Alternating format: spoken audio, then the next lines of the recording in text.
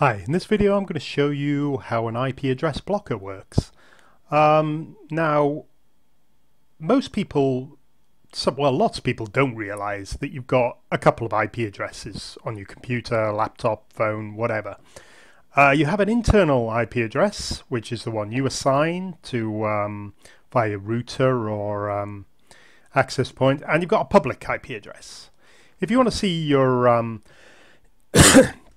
internal IP address is quite easy. There's a few ways of doing it, but if you start start a, a, command prompt and go go to the run command and type command.com, you'll get this little black window here, uh, which is a DOS prompt. Um, and you type in a command called ipconfig slash all, and you get a load of um, information. But at the top, you'll notice here, I'll just make it a bit bigger, um, I've got an IPv4 address. That's my internal IP address. Here's mine 192.168.1.16. Yours could very well be very similar to that. This is an internal IP address. It can't be used on the internet. It's assigned by my router. Excuse me. Um, and my router is here 192.168.1.254. Um, it might be your wireless access point for your phone or your um, uh, laptop or iPad, something like that.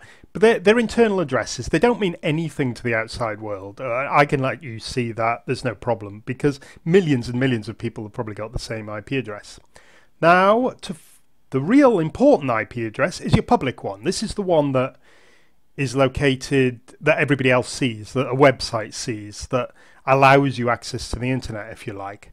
Um, there's an easy way of doing that. Just type what's my IP address into Google and Google will now show you your public. There's, there'll be loads of websites that do it, but at the top you now get your public IP addresses. I'll just mirror that one out so nobody goes uh, hacking me, but um, that's your public IP address. That's the one that um, says who you are. That's the one that the websites see when you um, go and connect to them. Right, I'm going to close that down and that one. Um, now, the important thing about that public IP address is it's also um, shows where you are. It's it's actually linked to your exact location. So I'm in the UK, and that IP address is a UK IP address. Fine, it allows me to see UK websites and uh, but if I try and access um, lots of things on YouTube or any uh, media sites in the US or Canada or anything like that, I'm going to get blocked because they generally stop you accessing um, sites outside a specific place. So let me just go and show you uh, this. Let's just watch this. Food Network star on Hulu. Hulu is only available to um, people in the United States. So I've got a UK IP address. I can't see it. And you can see currently our video library can only be streamed within the United States. Now there is a way to get through this and this is by blocking your real IP address. So blocking the website finding out your real IP address. Let's close this in Hulu. Uh, now there's a couple of ways of doing this but one of the most simplest is to use um, a specific software that does that.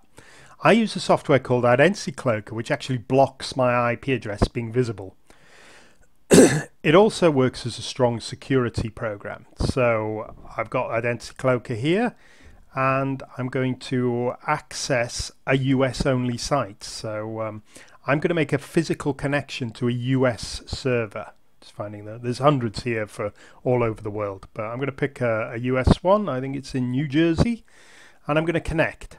Now, what is this going to do? It's going to actually access, it's going to basically hide my IP address. It's going to make a, um, a what's called a VPN connection, the virtual private network between me and a US server in.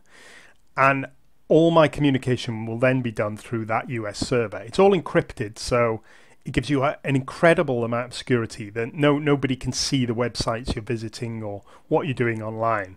They normally can. They're all logged at your ISP, but using a VPN, it can't be. The other benefit is it blocks any website I visit seeing my real location. My real location is now the US. Okay, so I've now got a US IP address. So if I go to Hulu and go to watch one of these programs here,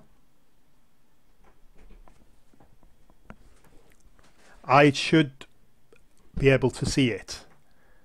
I you see you can see now it's um, you're able to access it because now the um, the website sees the VPN's IP address and not my real one. So um, I can now watch anything on Hulu. Um, if I wanted to watch something in a different country, just um, you can change it to a different country. There are hundreds there. You can change it to French, German, US, Canada, Australia, um, loads of others, um, and access uh, different media sites in different countries. Um, and that's basically because it's blocking my IP address, my real IP address, and you can only see the VPN one. Right, and that's it. So that's how you do an IP address blocker. You basically hide your real IP address and use one of either a VPN or a proxy server. It's dead easy to use. There are a few free ones around. They're they're a bit painful to use and um, they don't last more than a few hours. But if you wanted a one-off um, usage, you could do it then. Um, it's much easier to use um, a professional piece of software and dedicated servers. They're fast and easy to use. Okay, well, thank you very much for watching my video about an IP address blocker, and I hope you've enjoyed it. Thank you very much. Goodbye.